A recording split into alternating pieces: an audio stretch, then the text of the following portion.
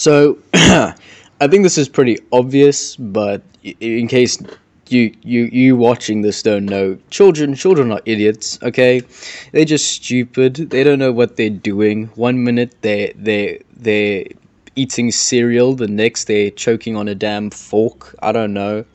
Um, uh, some people be weird like that. But point is, right? I was a very very interesting child. I was very stupid. And one time I got hospitalized because of my stupidity. So basically, right, this story it starts. i I think I was like, I don't know, I was below the age of of ten, definitely.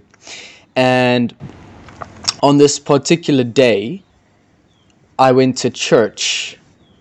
Good old Saint Nick, right? I went to church, and at church, you know. So at church, I was just chilling, doing some church stuff, you know, and I saw this chain, and I thought to myself, "Wow, that is a nice chain. I'm going to pick that up." And then, while I had this chain in my hand, I thought to myself, "Oh my word, this is such a lovely chain that I found on the ground. Let me just let me just put it in my mouth real quick, you know, just to keep it safe." So, fast track a bit, right? And then for some inconceivable reason, I swallowed this chain. I sw- I just mm, oh yes. So oh god. So I swallowed the chain, and I'm fine because I'm an idiot.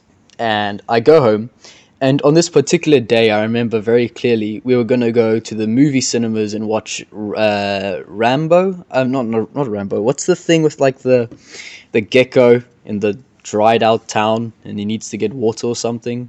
Rango. I think that's it. Anyways, that's not important. That's just adding on to my trauma. But I get home and I, you know, I just swallowed a chain. So I go to my parents. I'm like, "Hey guys, I feel like I'm dying." It wasn't. It wasn't even a small chain. It was a pretty, pretty long chain. I think it was. Yeah, I, I, I can't remember how long, but you know, it was definitely long. So they're like, "Oh, that's not good. We ought to go to the doctor." And I, you know, obviously I didn't want to do that because I wanted to go see Rango, whatever it's called, you know. But you know, we go, we go to the doctor, and they take a few X-rays because I'm like about to cry at this point, and then, and then, they, and then they ask me, they sit me down. They go, "Why?"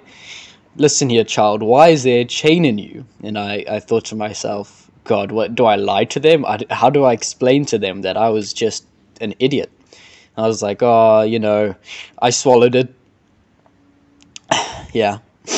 And they're like, oh, you probably shouldn't do that.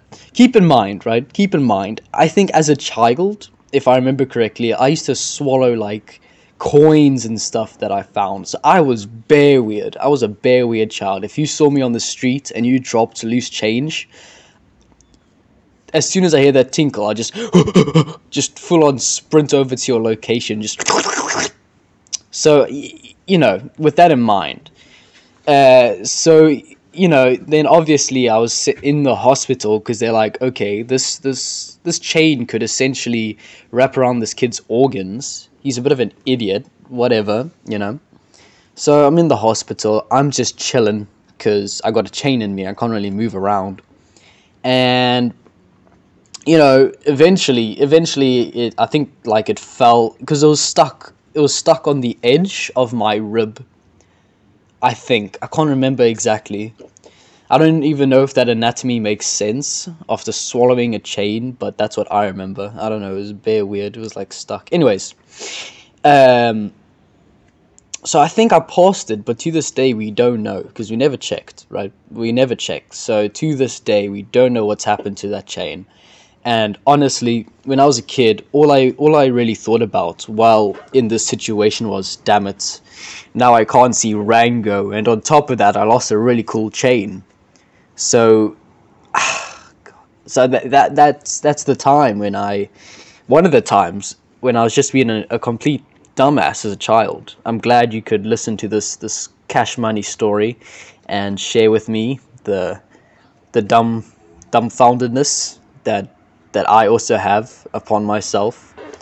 And I have a lot more stories like this if I remember correctly. So I'm gonna I'm gonna do more of these, but yeah.